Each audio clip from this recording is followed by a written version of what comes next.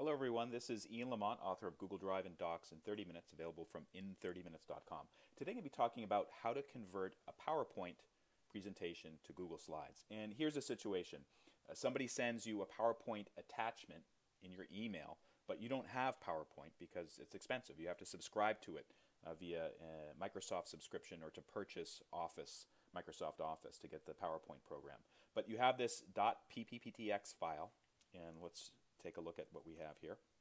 Okay, so I have this PowerPoint here, and I want to open it up in Google Slides uh, to view it there. And this is how you do it. What you have to do is go to Google Slides. Uh, you can go to you can Google Google Slides, or you can go to Google Drive and then select the uh, menu item to find it. And then once you're on this page, this is the main Google Slides index. Click on the File Picker. Open File Picker.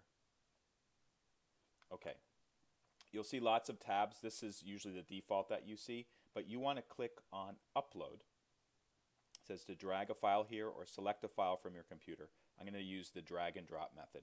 So in Windows, this is the File Explorer. In Mac, you would be using Finder. Basically, find that PowerPoint, and here it is right here, and drag it right to that space. It doesn't remove it from your hard drive. It just uploads a copy to Google Slides so you can view it. So what it's doing now is it's converting it. And hey, it's created out of the PowerPoint presentation that I uploaded a Google Slides presentation. And actually, it looks pretty close. Um, let's take a quick look at the actual PowerPoint version. So it's going to fire up PowerPoint. So here's the, here's the original one in PowerPoint. And here's the Google Slides version. And it, you can see it looks quite similar. Um, Let's take a look at the third slide. Everything looks basically about the same.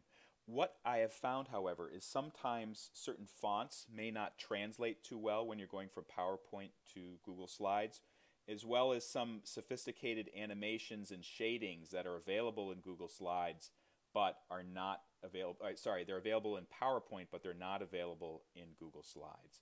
But for the basics, your whole presentation should come over, and then you'll be able to use it in Google Slides, which allows you, for instance, to uh, make a presentation using the Google Slides app, which is free, um, or to just to edit it or to work on it and then if you want to set, make it a PowerPoint again for some reason, just go to File, Download As, Microsoft PowerPoint, and it will create a PowerPoint version of the Google Slides presentation.